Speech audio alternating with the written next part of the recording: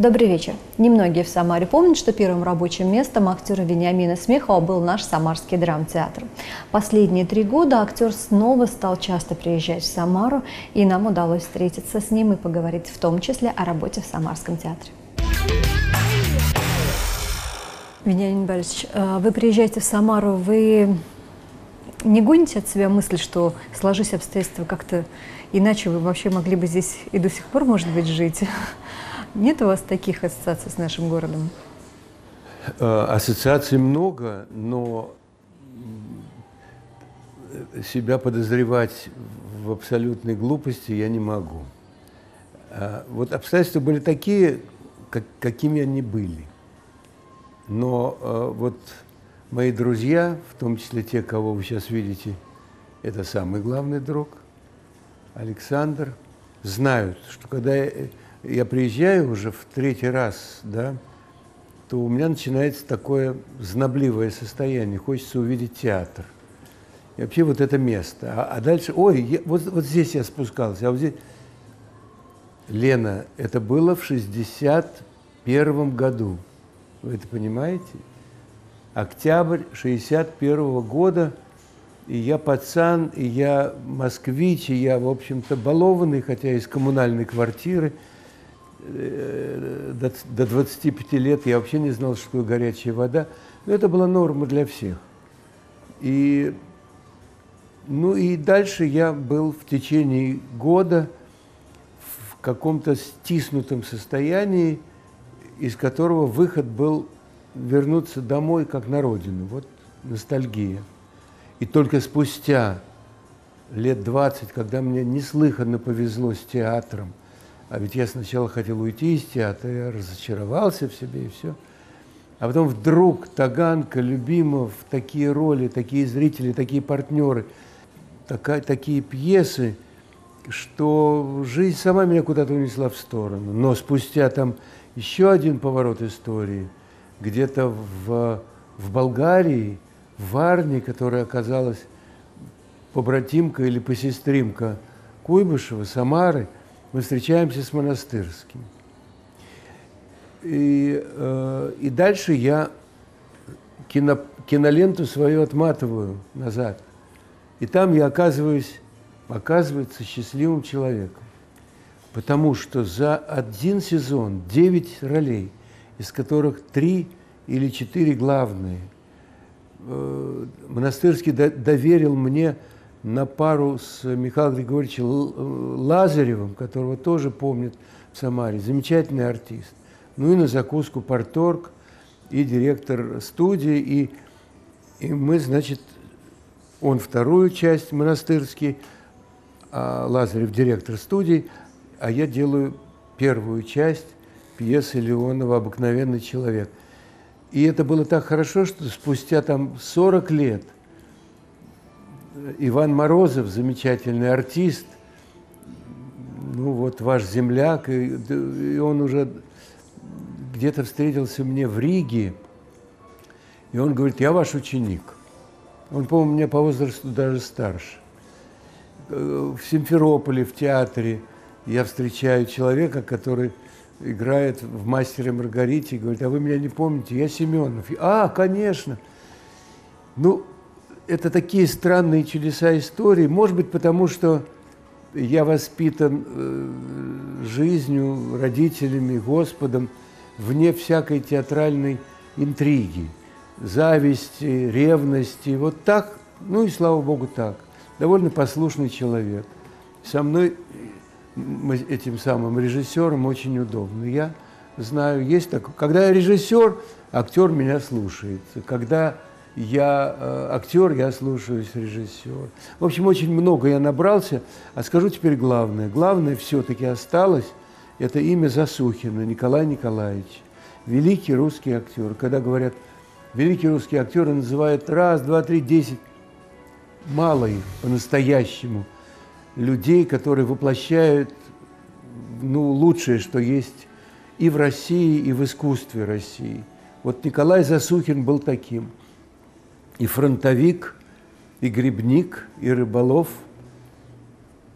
и замечательный папаша, и муж, а жена замечательная актриса Нина Засухина. И как, ну, в общем, сложилось много, я не буду повторять, я это уже и описывал, и все. Короче говоря, Засухин остался для меня великим учителем. Я благодарен и монастырскому, и театру, конечно, и этому сказочному, пряничному э, по архитектуре, так называется, домику на площади Чапаева, дом 1. И во всем мире, где я встречаю самарцев, то я, э, мы свои люди. Э, вы приезжаете с театром, в то же время вы много читаете, и я так понимаю, что это тоже своим образом э, у вас такое возвращение к молодости, к тому времени, когда вы думали, стать ли писателем или актером, и получается, что вы успели абсолютно все, и сейчас вы показываете Самаре другого Это вы, Лена, подглядели. У меня в руках действительно книжка, э, и я, я вообще писатель до того, как стал актером, а потом после Куйбышева, Самары собирался уйти в литературу. И уже даже там уже был договор у меня с, с институтом а, мировой литературы имени Горького, аспирантуры и так далее. Но, слава богу, я остался актером, стал еще и режиссером и остался литератором. И э, это во многом связано с уникальностью театра на Таганке потому что у Любимого мы были соавторы. Как говорил великий художник Боровский, Любимовский и всемирный художник, э, Любимов – гений коллективного труда. Он создал вот такую команду, в которой очень много вам всем дорогих как людей, как Высоцкий, Золотухин, Хмельницкий, Демидова, Славина, Бортник, Филатов, Шаповалов – когда мы были молодые, на Таганке никто нас не знал, говорили, вот есть такой гений.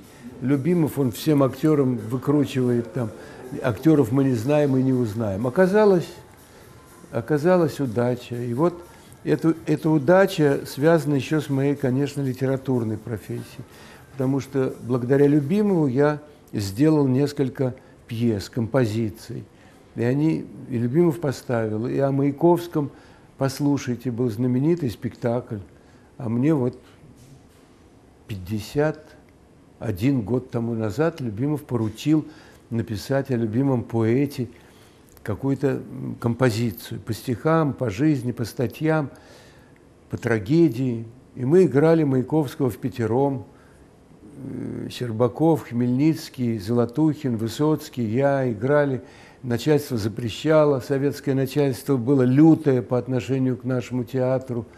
И театр выстоял не благодаря, а вопреки руководству страны и начальства, потому что заступничество было самое высокое. От Шестаковича до Шкловского и, и все, все наши видные академики-ядерщики, они, они, они как раз дорожили русской культурой, которая развивается. Поэтому для них имена любимого Эфроса, Ефремова, Товстоногова, Монастырского, там, потому что Монастырский тоже был революционер сначала, поначалу. Ну, одним словом, литература осталась. Сегодня я привез, и там оста остались еще на груши, на, на прекрасной груши остались мои э,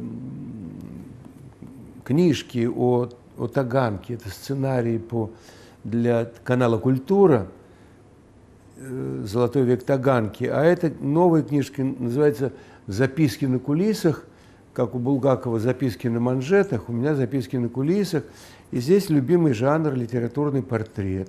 То есть те, с кем я знался, или дружил, или сотрудничал, или просто мог разговаривать. Там такие действительно гениальные люди, как Николай Эрдман, или Лиля Брик, или Давид Самойлов – или Владимир Тендряков, Юрий Трифонов, Смоктуновский, Миронов, Висбор, Высоцкий, Любимов, Боровский. Вот такой состав этой книжки для меня весьма дорогой.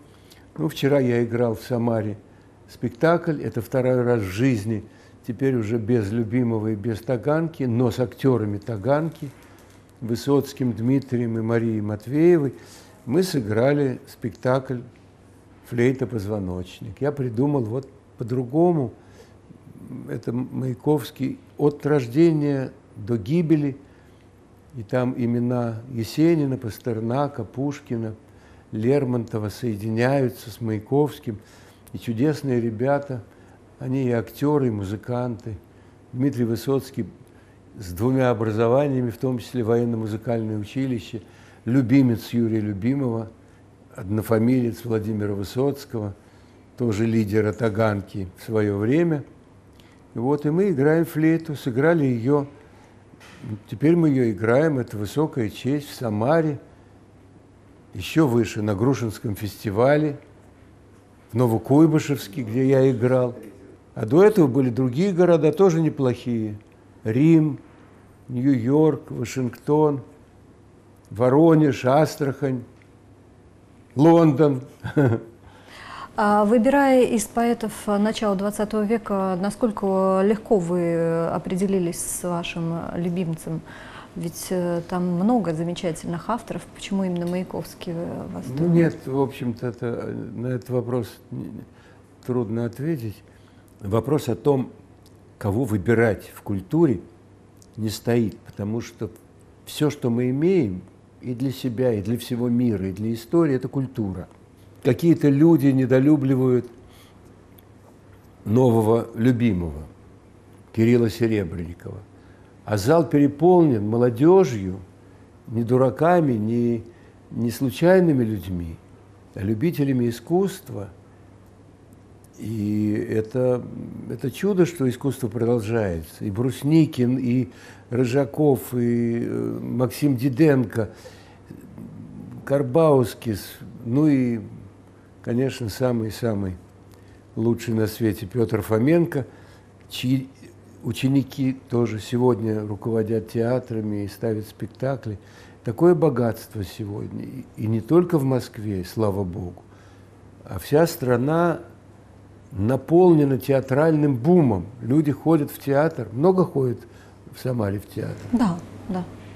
Еще лет 10 назад не ходили, осторожничали, или дорого было – или как-то еще. Сейчас почему-то опять вот бум театральный. А что касается поэзии, ну, да, у нас богатство. Для меня самое счастливое в эти годы, и в том числе вот в те годы, когда я приезжаю, вот уже в третий раз, можно сказать, в родной театральный город Самару, Маяковского много всегда. Но он и был как э, Пушкин в XIX веке, чуть-чуть впереди всех. Так что за здоровье Самары. Кто-то из этих новых э, имен станет э, героями вашей следующей книги? Каких? Вы собираетесь уже? Э, Нет, я, я так специально не, не, ничего. Ну, что-нибудь жена подскажет. Она не дает мне спокойно.